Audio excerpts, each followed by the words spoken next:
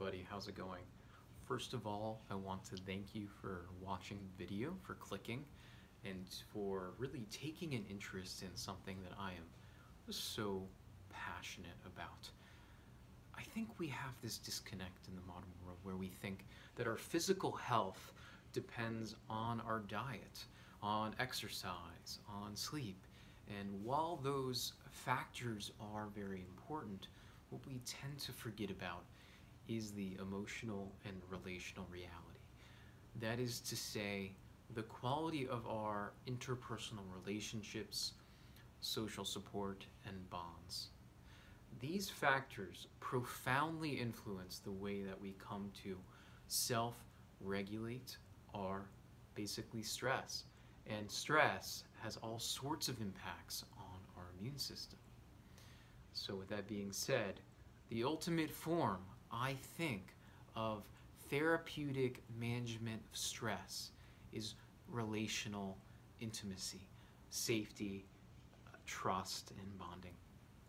So, I want to bring this to you. I want you to believe that this matters and that it matters enough for you to do something about it, to change your life, to practice the skill of learning how to relate through action, through behaving, through changing your life. So while we can talk about eating and diet and exercise in other videos, in this video we're going to talk about relationships. So what makes someone good at relationships? Well, people who are good at relationships are trustworthy. But what does being trustworthy look like? In this video, I'm going to highlight John Gottman's approach, which looks at attunement as the source for uh, good relationships. Attunement is the process of A, attending. That means giving a person full, undivided attention. That means putting down the phone. That means turning off the television. Being aware of when people are throwing bids for attention. So you attend, full attention. Are you paying attention to me? Pay attention, full attention, and then you turn towards using your body. Physical proximity builds trust, it builds liking. Your physical body matters. Turn towards the person physically. And then eye contact, facial contact. We need to look into each other's eyes. The eyes are the windows to the soul, to the limbic system of the brain. What we see is an emotional reality, and we should respect it as so. So we attend fully, undivided attention. We turn towards, and then we seek to understand the other person. Understanding is a process of open ended questions. Ask open ended questions.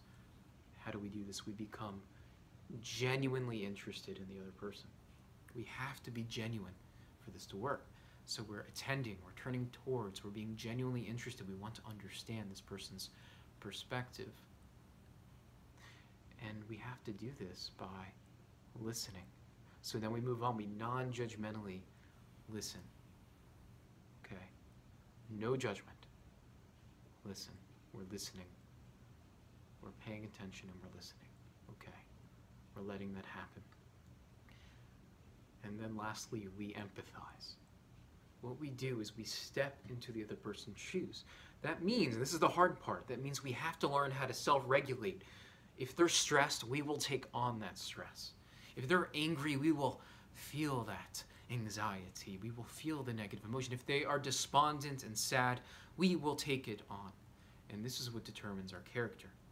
Can we handle it?